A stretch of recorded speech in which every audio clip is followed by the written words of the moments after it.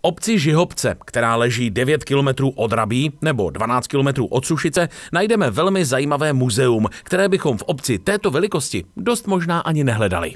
Muzeum Lamberské stezky nabízí jak stálou expozici, tak eh, sezónní výstavní prostory. Když k nám přijdete, tak eh, součástí muzea je informační centrum. Projdete si právě tedy tři místnosti se sezónními výstavami a potom eh, v prvním patře se nachází stálá expozice, která je zaměřená jak na historii bývalého lamberského panství, tak na faunu a floru Pošumaví. Muzeum sídlí v někdejším zámku a tak je část věnována právě životu šlechty, který si tu můžeme vyzkoušet doslova na vlastní kůži. Nejvíce mi tady líbí asi tyhle ty šaty, že si to může někdo vyzkoušet a tahle pokoj.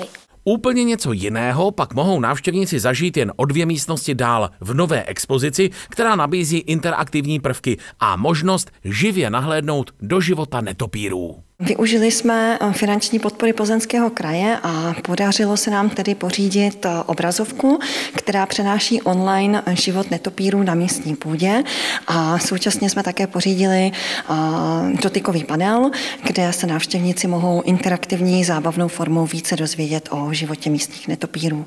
Tento netradiční zážitek může být jednak novým lákadlem do muzea Lamberské stezky, ale zároveň umožňuje nadšencům i odborníkům netopíry zblízka proskoumat.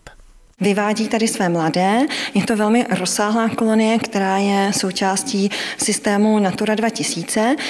My tady jejich život zkoumáme, zabýváme se tím jejich životem a intenzivně spolupracujeme zejména tedy s Českou organizací pro ochranu netopíru.